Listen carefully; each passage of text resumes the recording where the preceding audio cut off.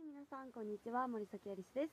今日は、えっとこの指ですね、私の指を使って、えっと、この先っぽがずるんってずれちゃったようなメイクをしたいと思います。指が切断ではないんですけど、切断寸前のようなメイクをしていきたいと思います。で、今日使うものは、まあ、いつも使わせていただいている弁内の、はい、メイクアップワックス。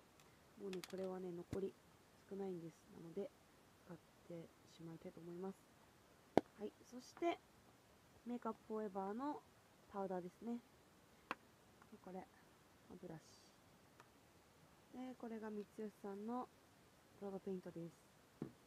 そして、えーっと、まあ、これはね、まあペイントでも、こういうフェイスペイントでもいいんですけど、えっと、まあちょっと柔らかいものを用意してください。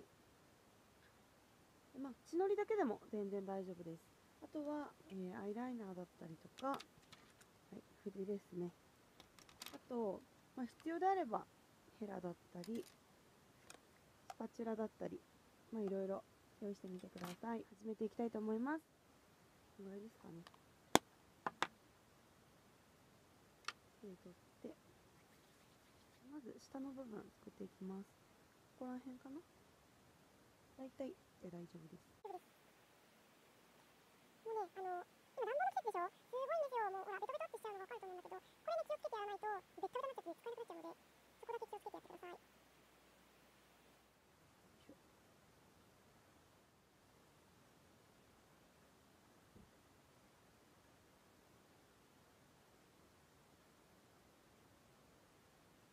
指クリームを使って指じゃなくてもいいんですけど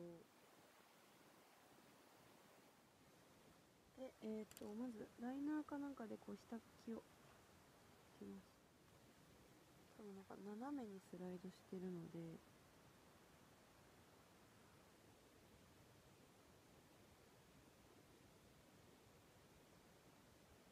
こんな感じ。でえっ、とまあ薄めてちょ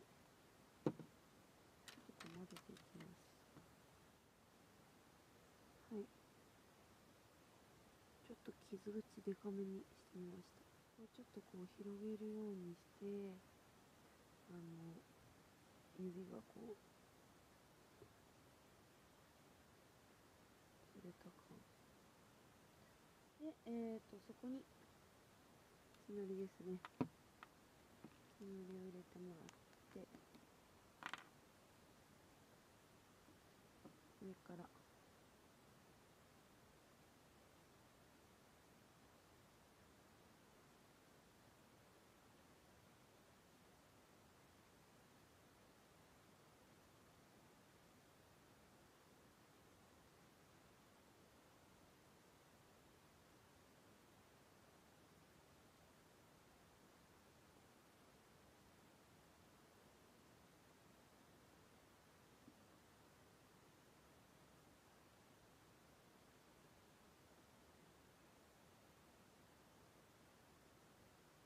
はいそして上からスポンジとかを使ってこんな感じで、まあ、いつもの感じでね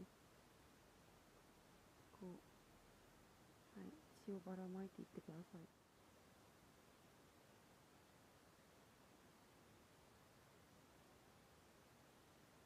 はいということで今日は指が斜めにずれちゃったえっと題名つけるとしたら何だろう？うんとまあ、骨がもうちょいで見えそうな特殊メイクでした。はい。ということで、次回は、あのーちょっと、最近ね、骨を出すメイクやってなかったので、骨が出るメイクをしたいと思います。それでは、お楽しみに待っててください。森崎ありすでした。バイバーイ。